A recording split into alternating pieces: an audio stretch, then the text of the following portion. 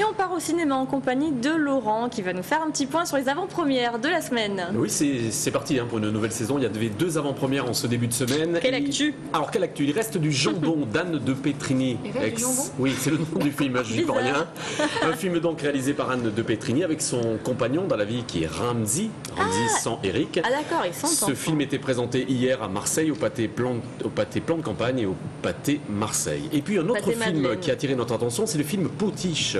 Le dernier François Ozon, c'est toujours un événement Oui. avec un très très beau casting, l'histoire d'une dame qui est la potiche de monsieur, monsieur étant le chef d'entreprise et monsieur a une faible santé, alors du coup il part en cure. Alors monsieur c'est Depardieu? Monsieur, c'est François Lucchini dans le film.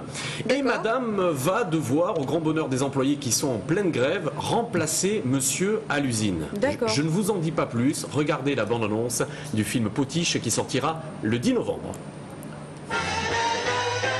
Nous sommes en 1977. La place des femmes, c'est au foyer, c'est pas au travail. Mais aujourd'hui, elles veulent être reconnues comme de vrais partenaires. Coucou Ça s'est bien passé hier soir avec ton acheteur allemand Oh, fous-moi la paix, Suzanne. Si tu veux mon avis. Ton avis, quel avis? Tu as un avis Mais Robert, Ce que je te demande, c'est de partager le mien. Sinon, tout le reste, c'est des paroles et de l'énergie perdue. Allez, tais-toi un peu. Ma pauvre maman, tu ne comprends rien. Mais il faut penser à l'avenir et se moderniser. Cite-moi des femmes aussi gâtées que toi après 30 ans de mariage. à ça pour ce qui est de l'électroménager, je suis une petite reine. Tu vois, tu es comblé, t'es obligé de l'admettre.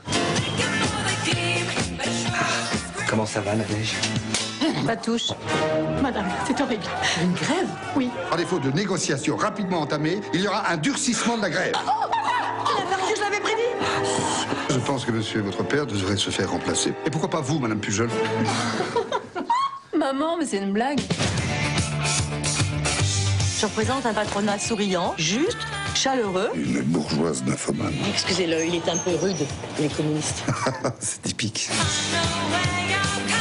C'est une autre femme.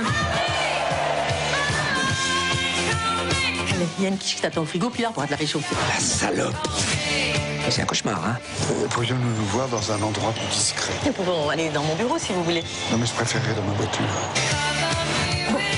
Ça suffit, j'ai changé. Je suis une nouvelle femme. Et ça, grâce à la patronne. Tu vas dans le sens de l'histoire, maman. Partout, les femmes prennent le pouvoir. Oh, mais ta gueule, toi Qui c'est le patron ici, nom de Dieu? Moi. Si je comprends bien, c'est moi maintenant la potiche. En quelque sorte. Et j'ai pas dit mon dernier mot. Et vous avez rencontré le réalisateur euh, Laurent qui était de passage à Aix. François Ozon, François Ozon, jeune réalisateur talentueux, qui a réuni ces deux monstres sacrés en fait, hein, Gérard Depardieu et, Et Catherine Catherine Deneuve, Deneuve, une nouvelle oui. fois à l'image, avec donc Fabrice Lucchini dans le casting de ce film. Rencontre donc après la projection au cinéma Cézanne d'Aix-en-Provence. Réaction. Oui, c'est un film qui se passe sur les années 70, qui parle des femmes dans les années 70, mais ce qui m'intéressait vraiment dans l'adaptation, c'était que le film parle aussi d'aujourd'hui, parce qu'on se rend compte que le contexte des années 70 ressemble vraiment euh, aux années 2000. C'est une période où il y a eu beaucoup de, grèves, beaucoup de séquestration de patrons, où il y avait beaucoup de conflits.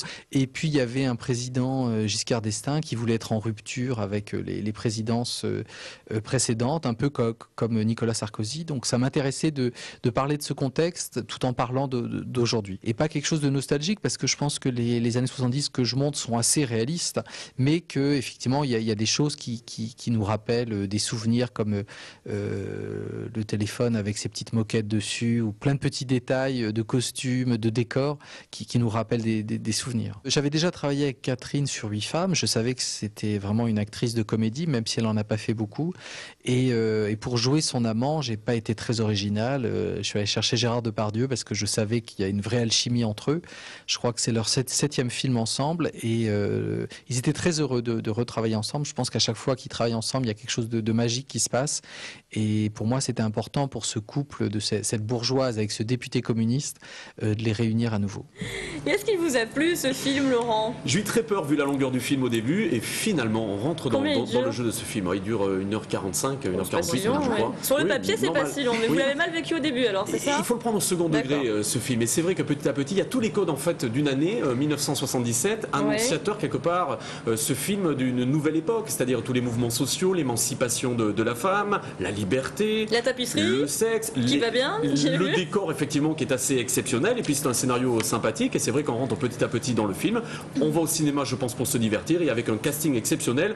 Euh, je vous redonne les noms quand même Gérard Depardieu, Catherine Deneuve, euh, Fabrice Lucchini. Nous avons Karine Viard, Judith Godrèche qui malheureusement n'a pas pu être présente lors de la projection au cinéma Cézanne d'Aix-en-Provence. Bon, ben à voir donc sur les écrans prochainement. hein. Le 10 novembre. Merci beaucoup, Laurent.